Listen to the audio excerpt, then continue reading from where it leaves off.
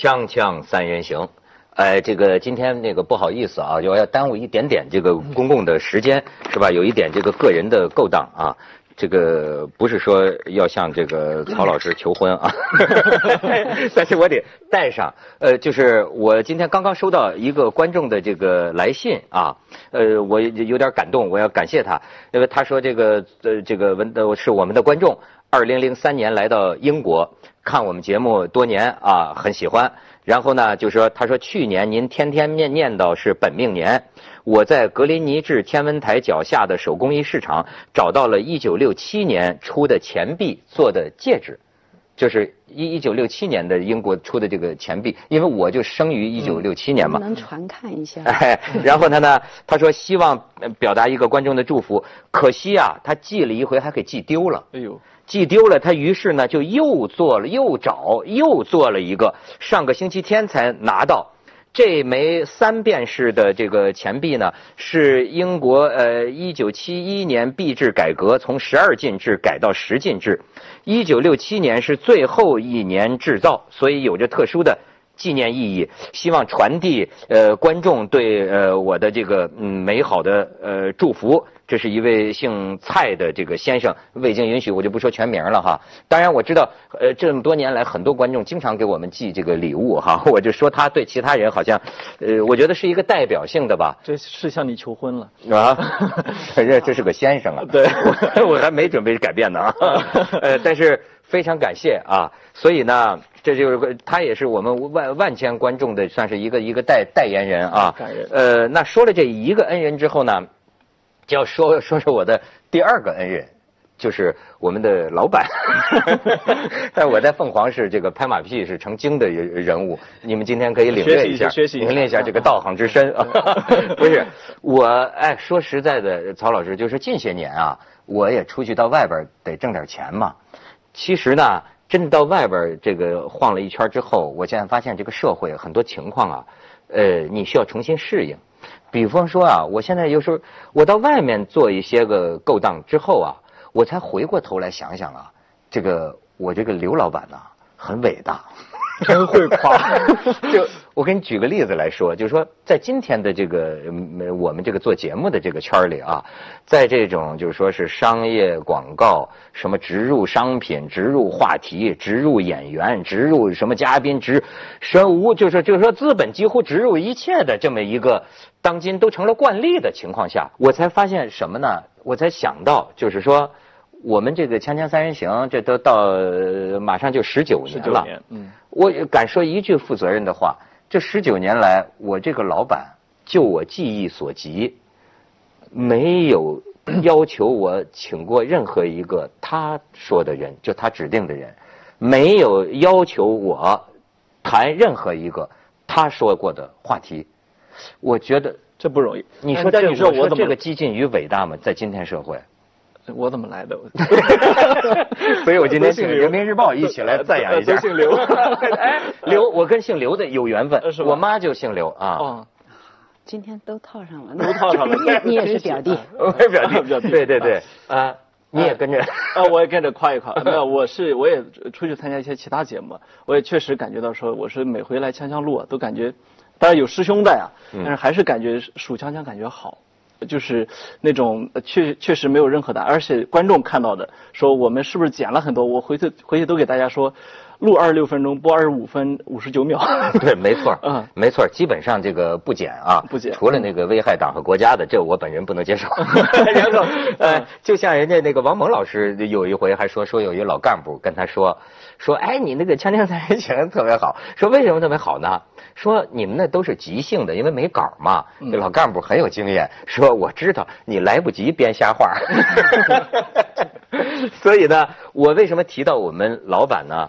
因为呢，你要是单纯为了这个这个私私人，我觉得没有意思。今天我碰到很多植入，曹老师，你知道今天的社会啊，我我过去认为世界是一清二白的，比方说这个广告是广告，节目是节目。二十年前，香港的电检条例认为，任何广告不能植入节目当中，否则是侵犯观众利益。但是你看，今天的社会二十年间发生了很大变化。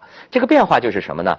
商业越来越产生一种合谋和我们，但是这种合谋我一时难以判断。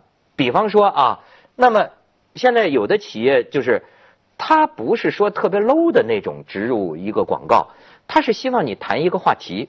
也恰巧因为我们的企业，呃，比如说我们的理念也是这个话题，我不要求你说我的企业的名字，我不要求你给我企业打广告，我只要求你们谈好这个话题。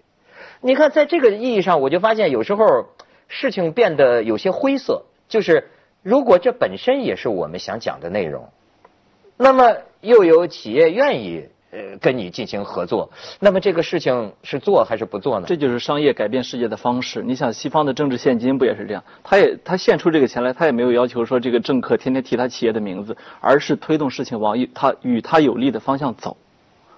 我觉得这个是很可能是在一个商业或者消费社会，这是一个不可避免的潮流。我在开个玩笑啊，你这是不是在提醒企业们可以可以来投赞了助 赞助各种节目、各种话题？这个很有意思啊。嗯那倒不是，这反倒是我现在非常大的煎熬。每天我这个作为传媒人的良知啊，就在这个中间在在衡量，因为我想咱做出节目来，呃，不是说观众就会喜欢听我说什么，但是至少得保证我口说我心呐。嗯哎，呃，但是呢，你又不能拒绝沸腾的社会生活，是吧？所以不是，我是拿这个事儿说起另一件事儿。比如说，有些人讲说，我今天想要聊聊刘长乐老板，肯定以为我拍马屁。我这么衡量这个哈，当然是拍马屁。但是呢，但是呢，如果拍马屁和公众利益相结合了。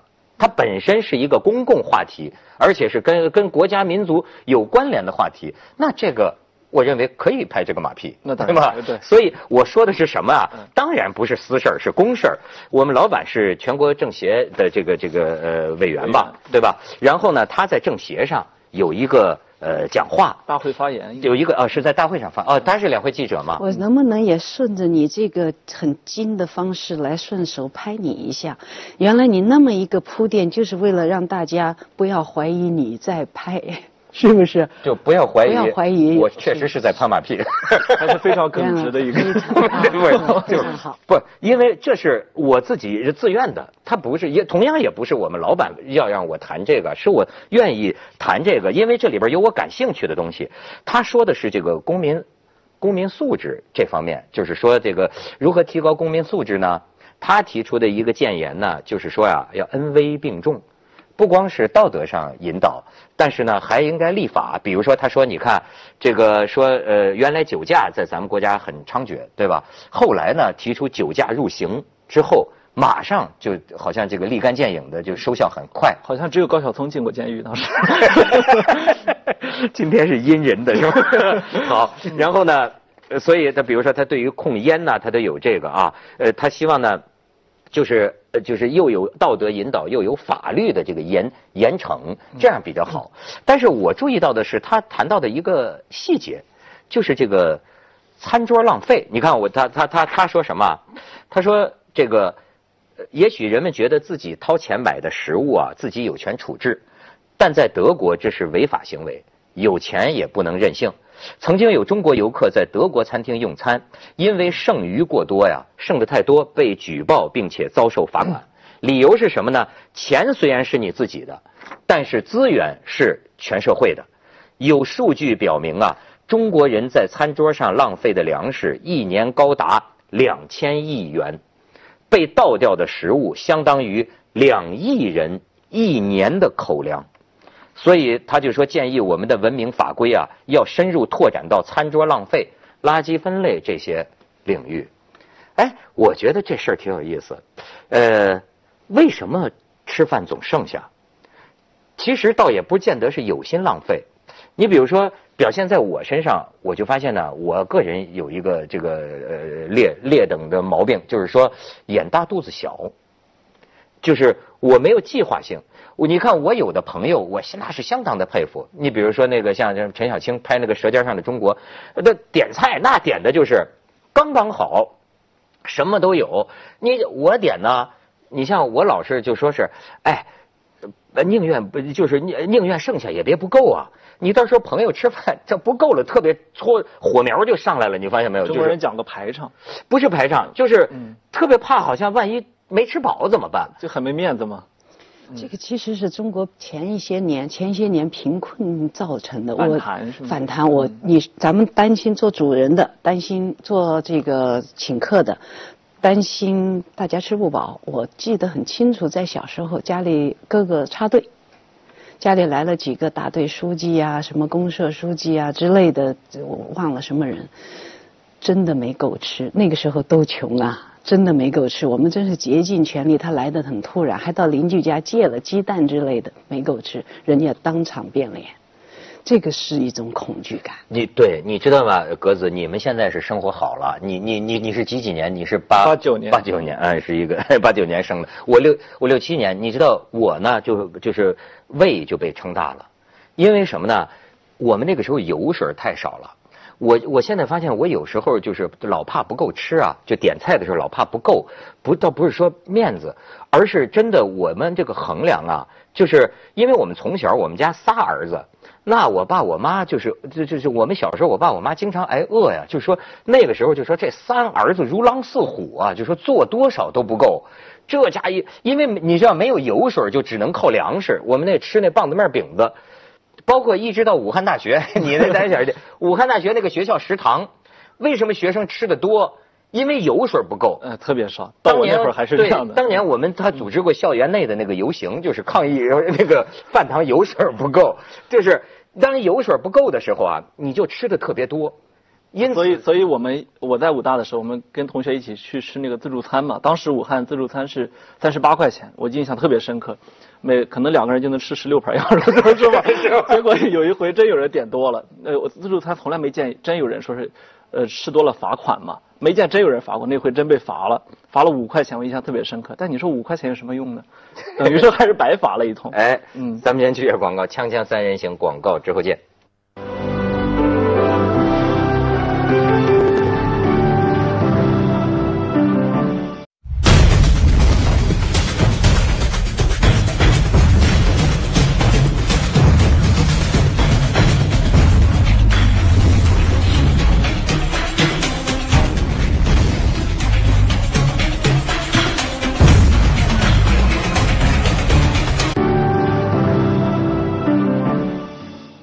老师，你觉得啊，就说我们这个民族最近老有人研究民族性。那天我们还在讲什么举英国什么的哈，有没有民族性？这是个这是个虚头巴脑的事儿。但是就是说，中华民族到底是个勤俭节约的民族，还是一个有机会就会浪费的民族？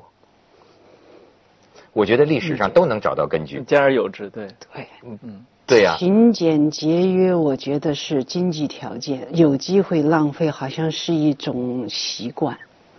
因为我在国外，经常有人告诉我，从正面说，中国人我特别喜欢交朋友，跟中国人交朋友，因为他们都很大方。哎，这个大方其实从另一个角度来说，有机会就愿意奢侈一下，要面子。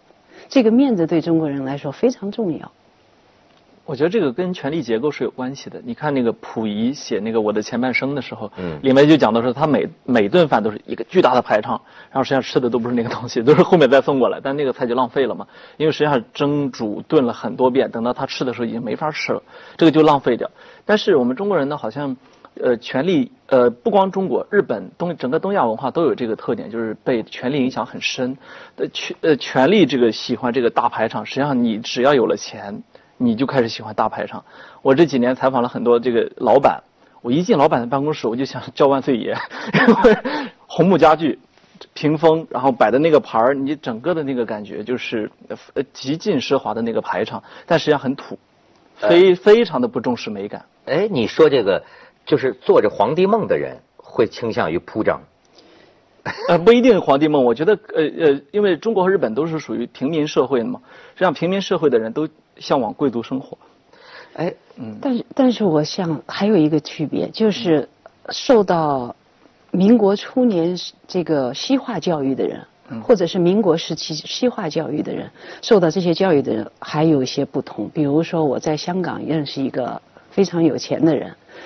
当年我们呃，就是跟孩子的父亲找到他，希望他给加州大学图书馆、亚洲图书馆捐一点钱，还缺几千万美金，不能封顶，就找到他。他说他要去加州，然后学校就说你干脆去接他。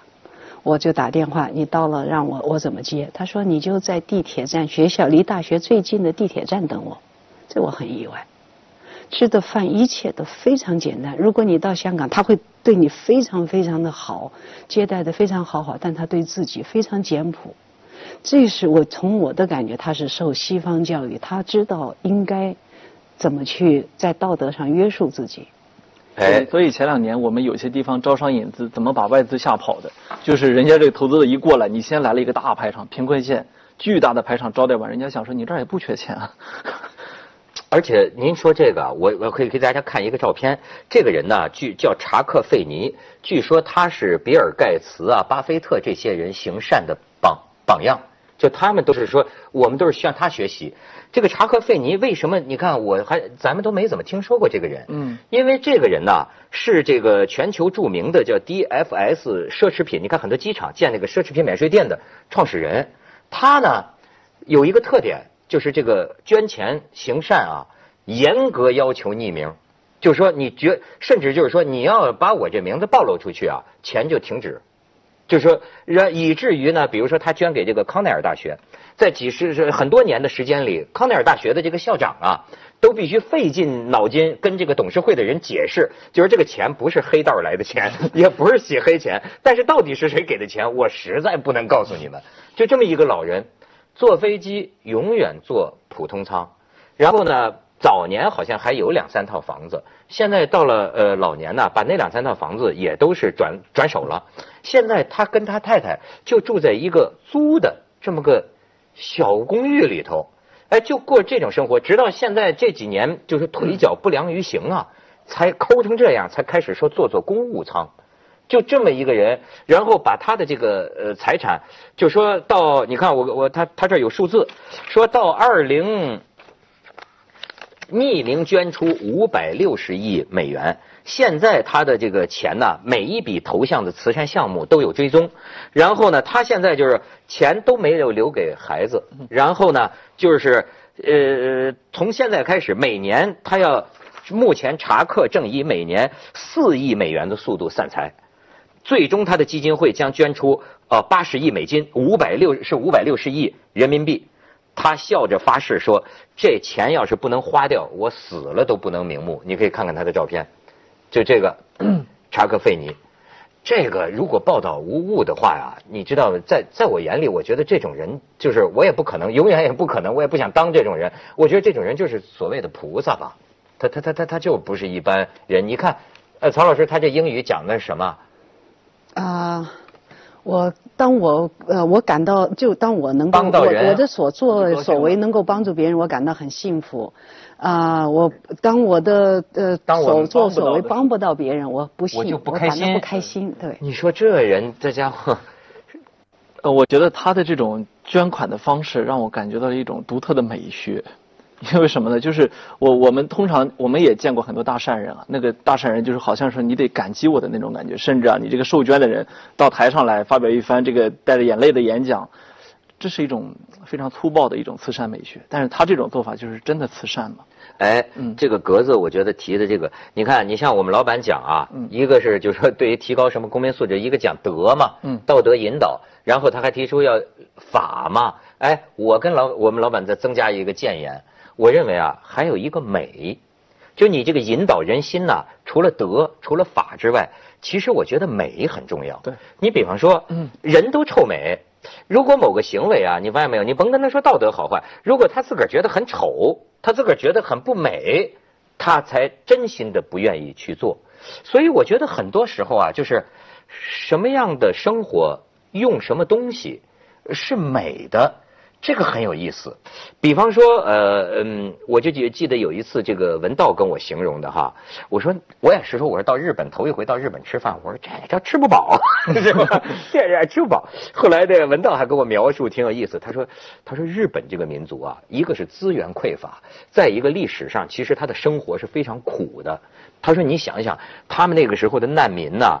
背着那个一点一点粮食，蔬菜都很少，就是一路长途跋涉，路上啊，哪怕米，说有一根蔬菜，哎呦，他是珍而重之啊，很对待他。所以你看，他是带着这样一种心情去对。二二战当中，日本人日本军队吃什么？这种铝制的饭盒里面装上一盒米饭，正中间放一个腌制的梅子，看起来像日本国旗，就吃这个。就是呃，就是，所以我我我我中中国文化，曹老师你发现没有？就像咱们刚才说的，真是博大精深，就是它什么都有。中国文化里头当然有奢侈、浪费、腐，但但是同样中国的美学这个书书法，中国的诗，我觉得对于到最后你看，哎，但是你看人家保留这中国文化当中当年的英莲鸡齿印苍苔啊，小扣柴扉久不开，一个柴门草编的这些东西，茶道，你看这个茶室，你简直认为他认为简陋就是一种美，你这、这是一种美啊！其实这个我能插一句哎，您讲，简陋这种这种不修饰、不装饰的美，实际是在这个丰臣秀吉时期立修的整个一个改变。在这之前，完全是学中国的这个宋代的茶盏呐、特别漂亮。之后，丰臣秀吉希望做大，请了立修来给他打造形象。立修说啊，你是土豪品味，什么都要金色的。你看，呃，丰臣秀吉的那个铠甲都是金金碧辉煌的，太土了。真正要想让大家注意你，去掉你这一切奢华的面貌，改成特别特别简单的、不修饰、不装饰、朴素至极。于是立秋给他打造了一个茶道，完全改变了。就是那个 wabi sabi 对吧？瓦比萨比是它的当中的一个概念，一个概念一个概念。这瓦比萨比汉语没有这个概念，就是安静，带点苦涩，但是对他的一种完全的内心是平静的。内心的平静，因为那个安对乔布斯影响非常大。苹果的产品，但就是非常典型的 wabi，就是你的触感是舒适的，你的眼前是很素的，但是其实那个你你用起来的时候，你你那个那个它的功能性是非常强的，你可以达到一种内心的沉静。哎，嗯而且呢，就是这个简呐、简单里边其实难度相当高。是他就对吧所以乔布斯才说 is the is the is the ultimate sophistication 嘛，对吧？简简洁才是终极的复杂。嘿呦，就是京剧。哎，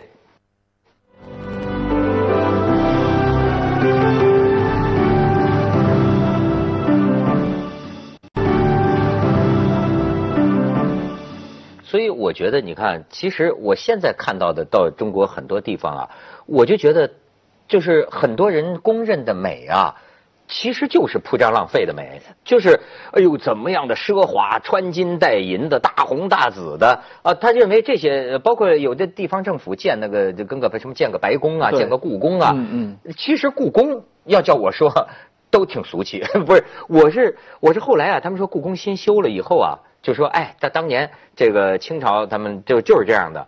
后来我说我怎么有点像个戏台啊？